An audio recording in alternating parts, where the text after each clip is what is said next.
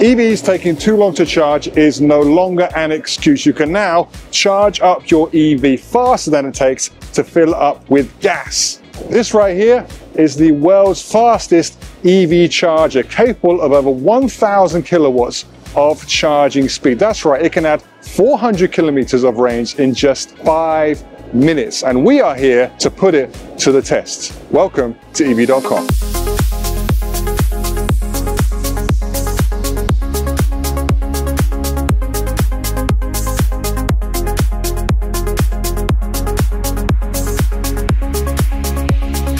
Hello and welcome back to EV.com. Before we get started, don't forget to give us a like and a subscribe for more EV content. Range anxiety. A part of this is charging anxiety. Will there be charges where I need to go? How long will it take for me to charge? Will I end up sitting in a car park for hours? Well, BYD thinks that they have solved this problem. Today I'm at one of BYD's stores to check out its megawatt charger and you won't believe how fast this thing is. So today I'm here to check on the one of 500 megawatt chargers currently in operation across the country. BYD has plans 4,000 as well as some in some overseas markets. So in order to do this, we're going to be using this. This is the Tongue LEV, which comes with a 100 kilowatt hour LFP battery, but not just any normal LFP battery. This is their Super E, their kind of flash charging battery, capable of up to 1002 kilowatts of charging speed, at least theoretically. We're going to put this to the test Today, it's a very hot day in Shanghai, around 38 to 40 degrees. So let's see what it's really capable of. All right, so I'm inside the uh, BYD L with this Super E platform. All right, we've, we've immediately got to 999 uh, kilowatts of charging speed. Oh, we're over, we're over. We are over 1000 kilowatts of charging speed. So if you can see, it's actually adding around two kilometers per seconds. And you can see the percentage over here, how fast that is going up. We can't maintain these speeds. I heard it starts to slow down around 20%. Still maintaining 1000, we're almost at 15% now. So we've just added way over 100 kilometers in the time I've been recording. So from 6 to 22%, we've been at around a 1,000 kilowatts of charging speed. Right now we've charged over 150 kilometers of range. Okay, now it's slowed down. We've come out of the animation and we're now we're at 852 kilowatts of charging speed. So it's still really, really fast, but you'll notice the music has stopped and the animation has changed because we're not at the thousand kilowatts of charging speed. So this is telling us that It'll be 12 minutes for us to get to full. And if we're going to go to 70%, that's just four minutes, another four minutes. But actually, it's going down pretty fast.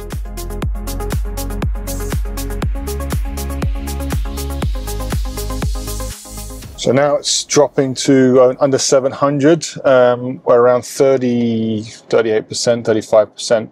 So while we do have 1000 kilowatt charging speed, obviously it's only good for a certain amount of time. That's the peak charging speed. So now we've dropped into a kind of steady around 700 kilometers. As the car gets more and more full up, this is going to slow down even more. So just as I said that, we're now at 617 uh, kilowatts of charging speed. So still super, super, super quick. Just another two and a half minutes or so to get to 70%.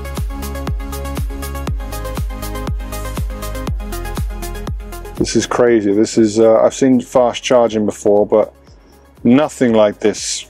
Already charged to 50%.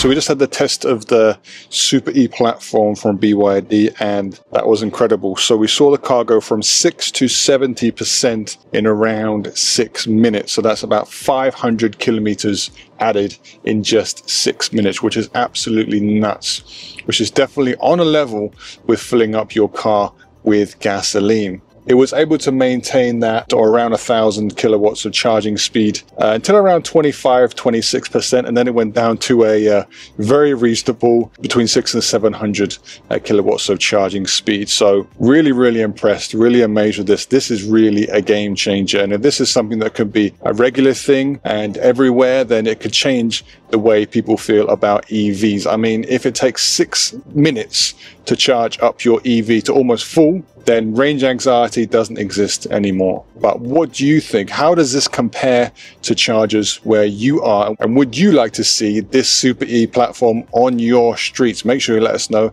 in the comments. This high voltage battery system actually gives greater performance to the cars due to their higher discharge rates. Although these vehicles look kind of normal, this Han L I'm sitting in today does 0 to 100 in 2.7 seconds. That is absolutely rapid. And thanks to a very strong thermal management system, despite these massive charging and discharging speeds, the batteries in these vehicles will not degrade at an abnormal rate. In fact, these batteries come with exactly the same warranty as a BYD blade battery despite the massive voltages going in and out. If your charger isn't fast enough, don't worry, these new cars from BYD actually have two fast charging sockets. That's right, they can plug into two chargers at the same time, meaning double the charging speed. Incredible. BYD has made it their duty to remove range and charging anxiety. The boss has even said that he wants charging an EV to be faster than filling up with gas.